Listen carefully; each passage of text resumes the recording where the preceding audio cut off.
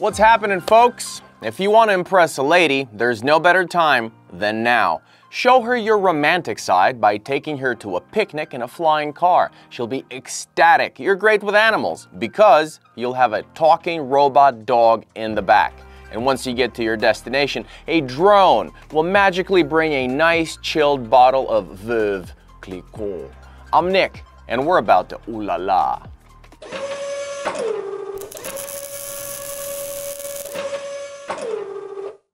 Disclaimer, disclaimer. Everything I just said is just a concept, but according to Google, it's going to cost you approximately a quarter of a million US dollars, lady not included.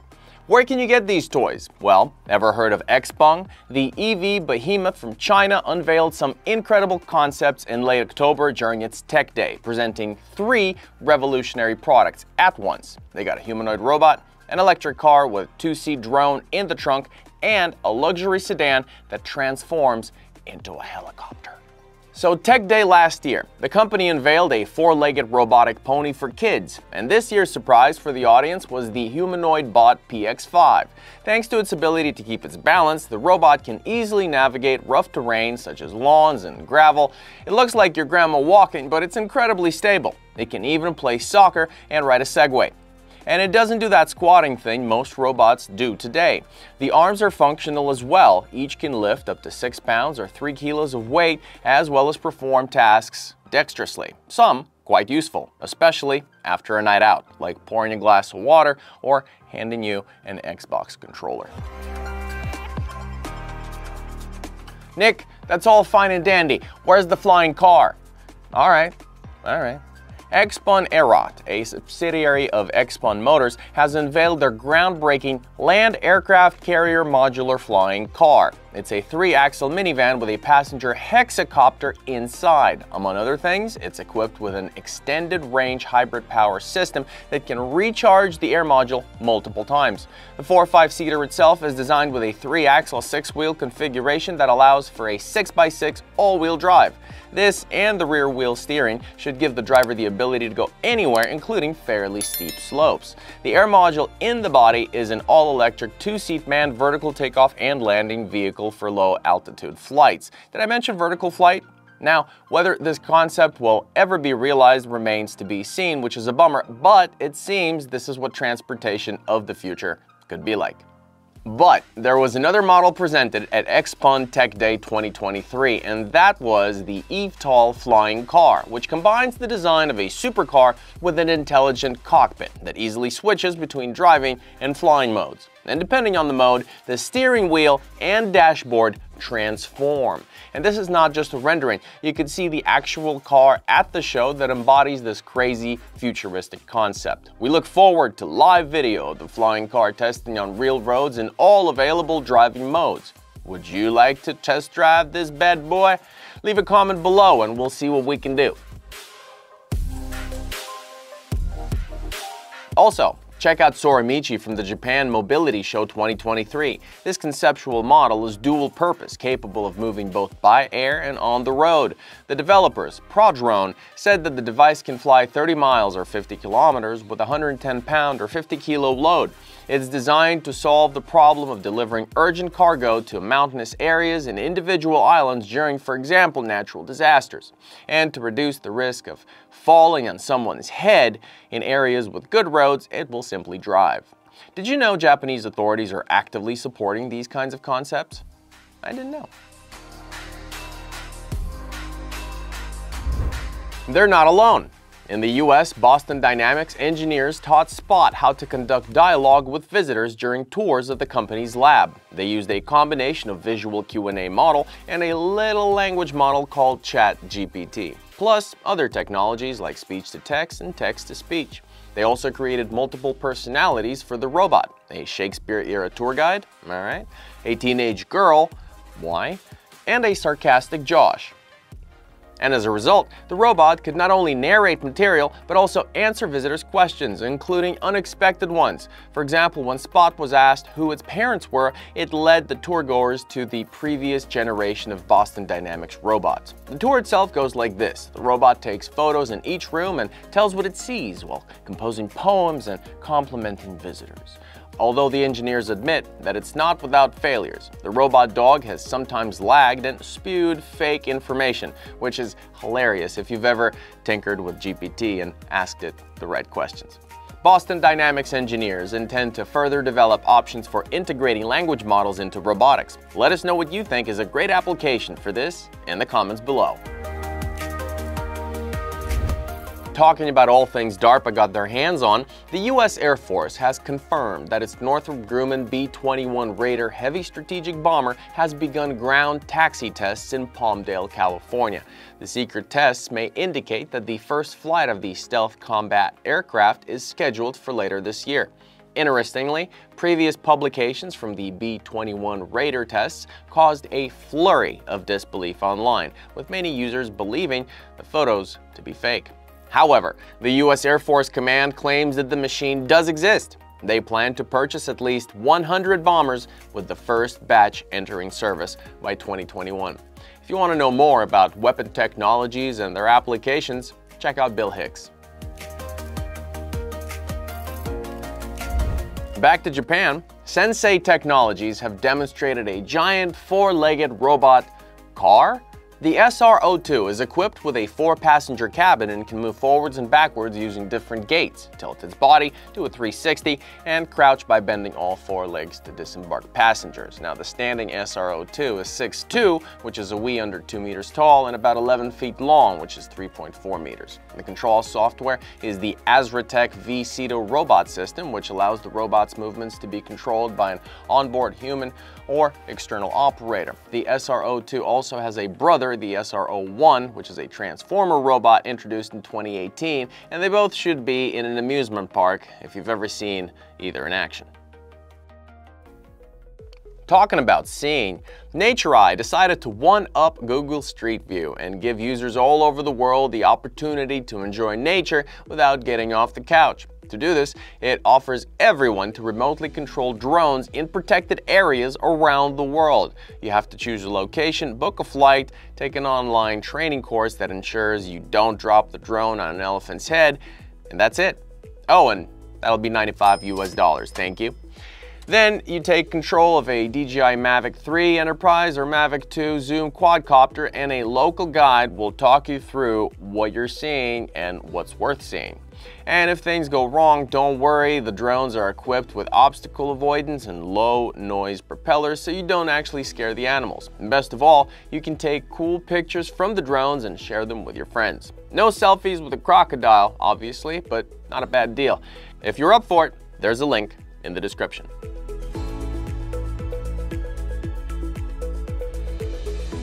Don't try this at home, kids. Starship delivery robots, you know the small white boxes with six wheels, have been grazing around the University of Oregon campus for a while now. But it wasn't until this academic semester when an 18-year-old student had this brilliant idea to report that one of these robots contained, you guessed it, an explosive device. This led to a shutdown of the robot's campus pandemonium and the arrest of the prankster. We couldn't get a hold of the perpetrator, but if we did, we'd tell him to look up Jim Brewer and his pranks. A stone throw away from Oregon stands Amazon's HQ. As soon as Digit, the humanoid robot, got its first job at Amazon's warehouse, it already had a strong competitor, proving that a robot simply transporting boxes doesn't need such a complex design. We already told you about EvoBot, but since we're talking humanoids, the makers of the self-balancing two-wheeled bot got busy and rolled out some specs. For example, speed 35 miles an hour or 60 kilometers an hour instead of 3 miles an hour or 5 to 6 kilometers per hour. Lifting and carrying a load weighing up to 140 pounds or 65 kilos instead of 40 pounds or 20 kilos. And yes, its rotating grippers are less dexterous than humanoid arms, but they are enough to grab and move a box. At the same time, the waist-high robot can reach shelves as high as an average person's chest. A compact robot weighing 90 pounds or 40 kilos can race with boxes up to 8 hours in a row while taking care of slopes up to 45 degrees and driving on uneven terrain. And if it does fall, the robot will get up by itself, something Digit has only recently learned how to do. Now, hypothetically, if you had a warehouse, which bot would you go for? The makers of EvoBot didn't stop there. Their concept with an unpronounceable name, 0 raised to the power of 3 din, is that Udin or Odin? I'd go for Odin. It's an autonomous jack of all trades powered by Mecanum omnidirectional wheels and air suspension capable of working both indoors and outdoors. This machine moves at speeds of up to 22 miles an hour or 36 kilometers per hour using LiDAR, GPS, and 3D camera systems to navigate and discern its surroundings. It can position itself precisely around a pallet by lowering itself onto a grabbing pendant, unfolding those strong arms to lift it from both sides using the same openings as a forklift. It then moves the pallets with impressive maneuverability even in confined spaces. And since we're on the topic of close quarters, former Google Nest engineers have reinvented the robot vacuum cleaner. Matic doesn't need internet access, moves like a human, relying on vision and object recognition, and cleans dry and wet dirt at the same time. Let me reiterate, Matic doesn't send a map of your house or any other data for that matter anywhere, which is a concern for many potential buyers. Instead of LiDAR, sensors, and soft bumpers, the robot uses five RGB cameras and a pattern recognition system to see and understand the world around it. It doesn't have to poke at your shoes to realize there is an obstacle in front of it, and it will distinguish a toy from a pet. Oh, and the robot can be controlled by voice and gestures. Just wave your hand and say, clean up over there, or clean up that bathroom, and it's off to do the job. You can also activate regular patrol mode where the robot will periodically go around the house and clean only where it's needed. And when its container is full and all dirt, including liquid dirt, is collected in one bag with absorbent crystals, the robot will simply park itself by your garbage can and let you know it needs to be cleaned. The bag, like a diaper, is simply pulled out and thrown away. Matic's already got financial backing from Jack Dorsey and Matt Rogers, but here's a genius solution that'll turn this venture into a unicorn. Attach a WALL-E head on it. Right? Anyone? Meanwhile, a Canadian company Deep Trekker has unveiled the Onyx amphibious drone, which can traverse rough terrain and even get 50 feet or 15 meters underwater. On land, the drone can be controlled wirelessly. Underwater, though, it needs a cable, which kind of reduces its appeal for autonomous missions. It's one thing to send Onyx across a river while drinking your juice in the hood, and quite another when you have to drag a cable behind it.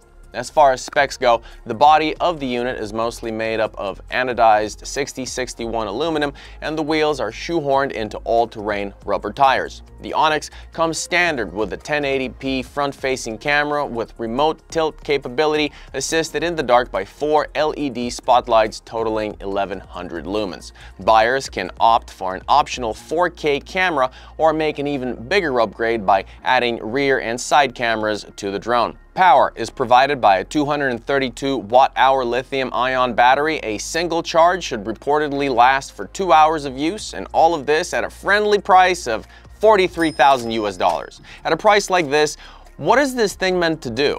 Enlighten me in the comments below, please, because I have no idea. This next one though, I can get behind. If you live in an area where snow tends to accumulate, then you should check out Everblue Technologies from Japan because they've developed an autonomous snow removal drone. The drone is based on a unit from Suzuki and was presented at Japan Mobility Show 2023. The electric robot weighs 200 pounds or 90 kilos and moves at a speed of 3 to 4 miles per hour or 6 kilometers per hour powerfully raking impressive snowdrifts. On a single charge, it can run for 5 hours or drive 18 miles or 30 kilometers. Isn't it weird that Canadians thought of the Onyx and the Japanese thought of the snowplow? Shouldn't it be the other way around? And here's another one. ABB, together with Swedish companies Boliden and Elkab, has completed successful tests of the industry's first robotic system called Robot Charger. They must have hired the same people to name this thing who came up with the Sydney Harbour Bridge. What Robot Charger does is it makes mining and tunneling safer by automatically placing explosives in predetermined locations underground, hence the term charger. The few manual processes in the mining industry left are about to become one shorter. Blasting schedules in underground mines vary, but in large mines, you can hear up to 15 blasts a day. The robot charger automatically detects boreholes and fills them with charges without human presence, eliminating the need to be in the mine. Now the developers are finalizing the tests, the goal of which is to perform a complete sequence of blasting operations in an underground mine and transfer full control of the robot to the original customer. And after that, the robot charger will be offered to the mass market. Who is this secret customer ABB is working for? Hmm. And while Robot Charger is busy on Earth, the German Research Center for Artificial Intelligence is building robots to explore lava caves on the Moon and Mars. These caves could be a temporary base or storage area for astronauts, but they are unexplored and can be extremely dangerous, which is why five European countries put their heads together to create CoRoB X. It includes three autonomous rovers of different scale and complexity. Rover 1 is like the black guy in horror movies. It's first to dive into the abyss, while other rovers follow. The largest of the three will carry chargers for itself and its smaller brothers, which is a functional touch since it might take some time to explore a cave on the moon and have no sunlight. No clue as to how CoRoB X's are going to communicate with one another or their operators on Earth, but we shall keep you posted.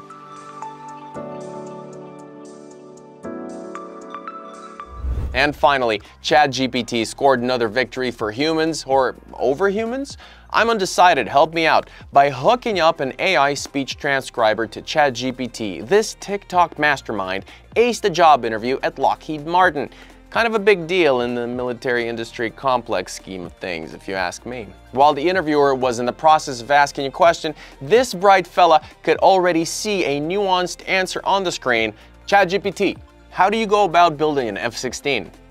There's tons more, but I'm out of time. Like this video, subscribe, and or hit us up on Telegram to join our growing community of robot enthusiasts. Until next time, bye-bye.